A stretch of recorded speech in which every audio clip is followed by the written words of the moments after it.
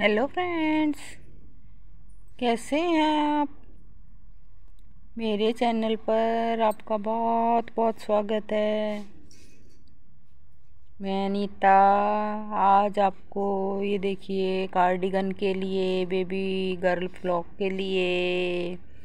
Jacket में नीचे डालने के लिए या साइड में भी हम डालना चाहें तो बटन के साथ साथ, पट्टी के साथ साथ डालना चाहें, गले पर डालना चाहें, गोल गला बनाकर हम उस पर भी डालना चाहें तो उसमें भी डाल सकते हैं। छोटा सा है इजी है। लेकिन डला हुआ बहुत प्यारा लगता है ये। देखिए अब मैंने इसको कैसे डाला वो मैं आपको बताती हूँ। सिर्फ़ ये छः सिलाइयों का। छः सिलाइयों का डिज़ाइन है और इसके लिए मैंने पच्चीस फंदे डाले हुए हैं इसमें। पच्चीस फंदों में मैंने देखो अभी शुरू में मैंने क्या कैसे डाला है। मैंने तीन फंदे इस पिंक कलर के, दो कलर हैं मेरे पास, लाइट पिंक है और एक ये मैरून शेड है। तो दूसरी शेड मेरी मैरून, तीन उसके पिंक के डाले हैं मैंने और तीन फंदे मैंने मैरून के। तीन फंदे मैरून, तीन फंदे मैं पूरी सिलाई ऐसे ही कंप्लीट करूँगी।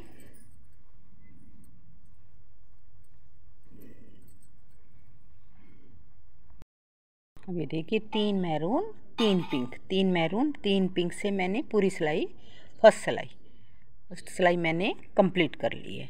दूसरी सिलाई में, रॉन्ग साइड रॉन्ग साइड मैंने, अब मैं मैरून वाले फंदों को तीन के पाँच कर लूँगी। एक मैं पिंक वाला ले लूँगी इधर से तो ये मेरे पास पाँच हो गए हैं। अब पिंक मेरे पास सिर्फ़ एक रह जाएगा। पिंक हमने एक ही कर रखना है और इसको हम पाँच। मैरून हमारे पाँच हो जाएँगे और पिंक हमारा एक रह जाएगा। पिंक एक, मैरून पाँच। एक दो, तीन, चार और ये पाँच। फिर पिंक हमारा एक।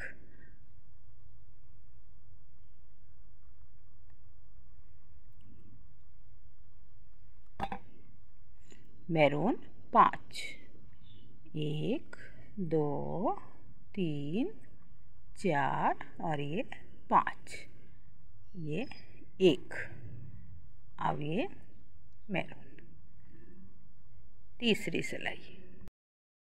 तीसरी सिलाई अब मेरी। तीसरी सिलाई में अब ये देखो, ये जो मेरा एक पिंक हमें दिख रहा है, नीचे सिर्फ़ ये पहले ये तीन थे, अब ये एक रह गया।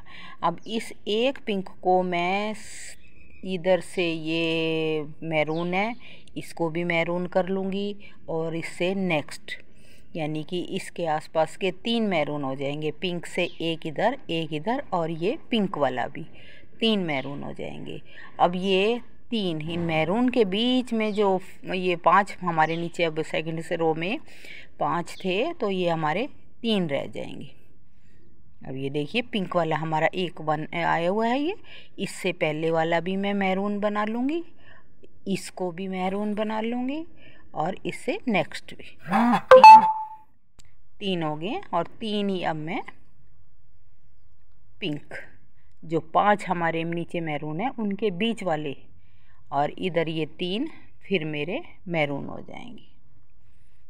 एक, और ये पिंक वाला भी मैरून और इससे नेक्स्ट भी।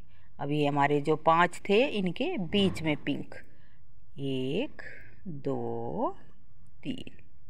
फिर ये next one two three next three pink one two three अभी लास्ट में मेरा एक मैरून रह जाएगा. फोर्थ रो फोर्थ रो में अब ये जो मैरून हमारा एक था, उस मैरून को हमने पिंक कर लिया और ये तीन पिंक थे, उससे नेक्स्ट वाला एक पिंक ले लिया और इसके बीच में हमने एक मैरून कर लिया। अब ये दोबारा फिर देखो, एक ये पिंक वाला पिंक, और एक ये मैरून वाला भी पिंक, दो, और ये मैरून जो तीन थे, उनके बीच वाला हम मैरून कर लेंगे। उससे नेक्स्ट फिर, एक ये मैरून वाला भी पिंक, इससे नेक्स्ट भी पिंक, और इन तीन के पिंक के बीच वाला हम मैरून कर लेंगे। यानी कि दो अब हमारे पिंक होंगे और एक मैरून होगा। मैरून ये जो तीन हैं, इनके बीच वाला मैरून। उससे आगे एक और ये दो पिंक। फिर इन तीन पिंक के बीच में एक पिंक मैरून। फिर ये एक पिंक, एक अगला भी पिंक, मैरून तीन है, उनके बीच का पिंक। इस तरह दो पिंक एक मैरून, दो पिंक, एक मैरून। अब ये एक मेरा लास्ट में पिंक रह गया है। हमारी चार सिलाइयाँ कंप्लीट हो गई हैं। अब ये देखो, हमने अब शुरू में जो ये तीन पिंक के नीचे ऊपर जो मैरून आया हुआ था एक मैरून, तीन मैरून थे। उसके ऊपर जो एक मैरून आया था, उसको हमने तीनों को पिंक कर लेना है। एक, दो और ये तीन। तीन हमारे पिंक हो गए। और ये जो बीच में एक पिंक है, ये मैरून है। जो नीचे हमारे पाँच के बीच में है, अब हमने इस मैरून को जो बीच में हमने इस पे उठाया लगाया है, उसको अब हमने मैरून को तीन एक, दो और ये तीन। ये देखो मेरा, ये बीच में। ये जो बीच में दिख रहा है हमने, जो एक फंदा हमने बीच में उठाया था, ये तो तीन के ऊपर एक मैरून किया था, लेकिन यहाँ से हमने शुरू किया था तो जो एक फंदा था, इसके हमने अब तीन कर लेने हैं। और अब जो जो एक फंदा मैरून है, उसके आसपास वाले एक दो और अब ये तीन। अब ये दोबारा देखिए, बीच में, ये जो बीच में हमने उठाया था, उसके आसपास वाले तीन करने हैं अब हमने। एक लेक लिया, बीच में वो दूसरा मैरून, तीसरा मैरून, तीन। और अब ये जो ये इधर यहाँ तीन थे, मैरून थे हमारे, इनको हमने एक करना ऊपर। एक किया था, उसके ऊपर हम मैरून को ख़त्म कर देंगे, तीन पिंक हो जाएँगे हमारे। एक इसको हमने ख़त्म कर दिया, दो पिंक हो गए, तीसरा भी पिंक हो गया। अब यहाँ पे तीन, फिर ये तीन मैरून फिर ये तीन, फिर ये तीन में पिंक के हमारे, फिर ये मैरून दो, तीन, और ये हमारा लास्ट वाला पिंक बच गया एक बंदा। तीन तीन। ये देखिए, बीच में अब आपको ध्यान से देखो, ये ये वाले हमने, ये तीन किए हैं।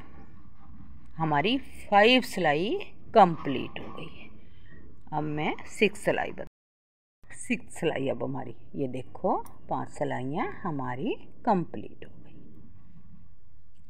छठी सिलाई में, अब ये हमने, जो हमारे मैरून तीन हैं, उनको हमने एक कर लेना है।